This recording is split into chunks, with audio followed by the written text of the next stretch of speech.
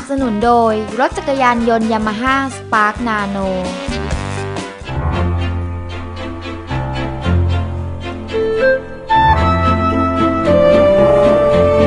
กลับมาพบกันในช่วงที่ 2 ของรายการครับคุณผู้ชมครับ และเป็นไปตามที่ผมเกริ่นสัญญาไว้ในค่ะ ช่วงต้น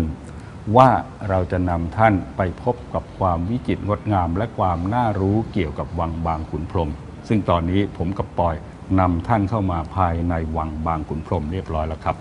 นั้นเราอย่ารอช้าดีกว่าค่ะ โอ้ไม่ต้องรอช้าหรอก เพราะค่ะ ว่าบัตรนี้เนี่ยแขกรับเชิญของเราในวันนี้จะเป็นผู้ที่รู้ดีที่สุดเกี่ยวกับประวัติของวังแห่งนี้ด้วยครับ ไปกันเลยค่ะ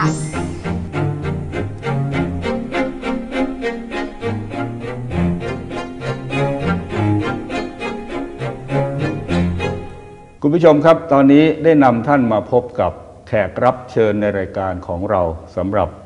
การนำชมวังบางขุนพรหมเรียบร้อยแล้วครับ สวัสดีครับ สวัสดีค่ะ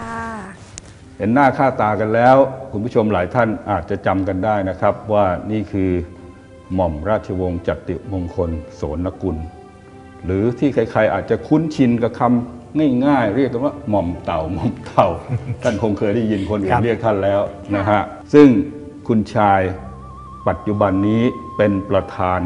กรรมการธนาคารแห่งประเทศไทยครับ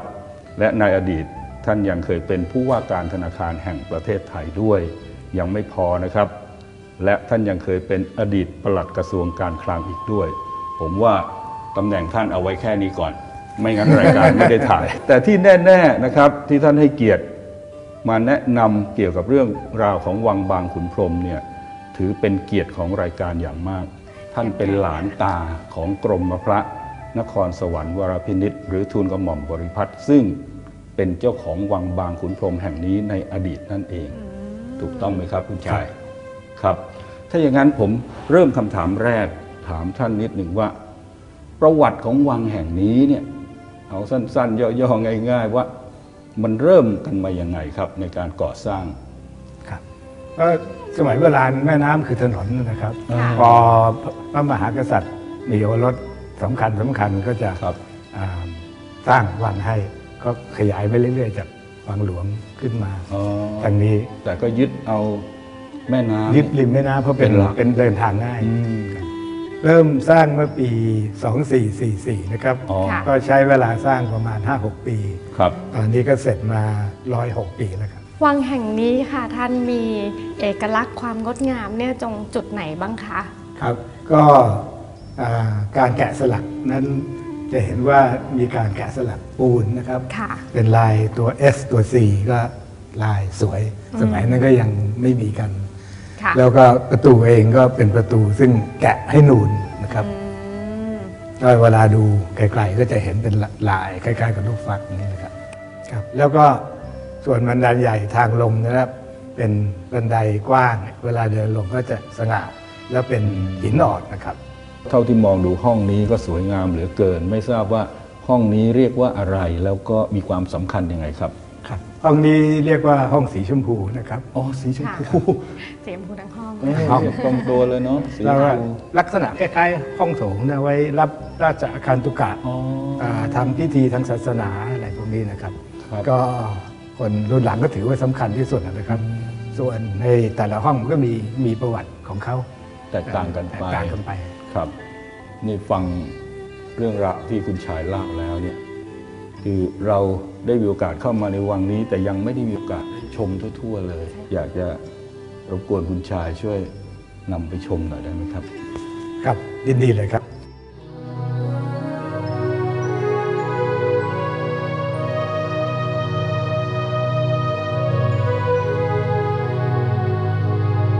ห้องนี้เดิมเป็นห้องเก็บเครื่องรายการนะตอนนี้ก็เอามาแสดงพระราชประวัติอ๋อ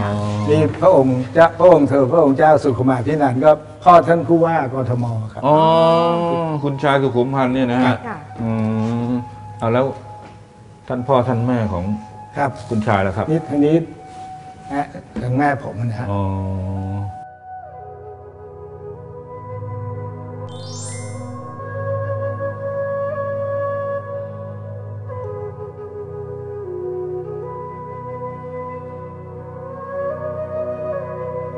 รมพระนครสวรรค์วรพินิษทูลกระหม่อมบริพัตรเนี่ยฮะซึ่งเป็นตาลาตาของคุณชายอ๋อท่านชอบทรงดนตรี เพราะฉะนั้นก็อืมอ่ามีเรื่องดนตรีไทยนี่มีทรงชื่อเสียงพระราชนิมากพนธ์เพลงเยอะแยะแล้วก็มีวงวงที่นี่ใหญ่ครับ สมัยก่อนนี้แต่ละวังต่างๆ เนี่ยก็จะมีจุดเด่นต่างๆกัน วังครับนี้ก็คงวังนี้ก็มีชื่อเสียงเรื่ทาองงเรื่องดนตรีครับฮะ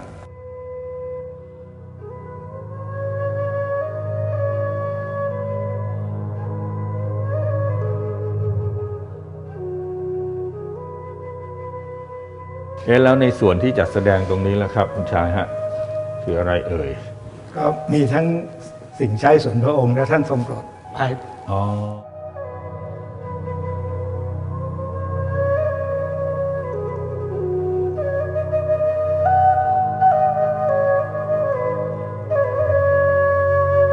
ผมขอถามอีกสักคำถามหนึ่งครับคุณชายครับ ว่าสรุปแล้วในปัจจุบันนี้เนี่ยวังบางขุนพรหมเนี่ยอยู่ในความดูแลของใคร หรือว่าหน่วยงานไหนครับอ่าสมัยนี้ก็อยู่ในความดูแลของธนาคารแห่งประเทศไทยนะครับ ความจริงเมื่อสัก 40 ปีมาแล้วครับอ่าเป็นอาการที่ทำการด้วยครับ อ๋อเป็นที่ทำการด้วยปัจจุบันนี้เนี่ยไม่ใช่ที่ทำแต่กาการร ไม่ไม่เป็นพิพิธภัณฑ์แล้วก็ค่ะ ผมกล่าวเฉยๆค่ะคุณผู้ชมค่ะวันนี้นะคะเราได้รับความรู้มากมายเลยค่ะ ถ้าคุณผู้ชมท่านไหนนะคะ สนใจจะมาเยี่ยมชมที่นี่เนี่ยมาได้เลยนะคะ มาเป็นหมู่คณะค่ะ และไม่มีค่าเข้าชมค่ะ ตั้งแต่วันจันทร์จนถึงวันศุกร์นะคะ ในเวลาราชการค่ะ ยกเว้นวันหยุดของธนาคารนะคะ และที่สำคัญค่ะ ต้องติดต่อมาล่วงหน้าอย่างน้อย 1 สัปดาห์นะคะ เพื่อนัดเวลาเข้าชมค่ะคุณผู้ชม ครับแล้วก็ผมยังมีเรื่อง รบกวนคุณชายอีกสองเรื่อง สถานที่แห่งนี้ใช้เป็นที่เอ่อตั้งของพิพิธภัณฑ์ธนาคารแห่งประเทศไทยด้วยใช่ไหมครับครับเพราะฉะนั้นข้อรบกวนข้อแรกของผมสำหรับคุณชายก็คือว่า ถ้าผมจะกราบรบกวนว่าสัปดาห์หน้าครับนะฮะให้คุณชายช่วยนำชมพิพิธภัณฑ์ ธนาคารแห่งประเทศไทย อีกสักครั้งหนึ่งจะรบกวนได้ไหมครับ ยินดีเลยครับแหมขอบพระคุณครับ เรื่องที่สองครับคุณชายครับ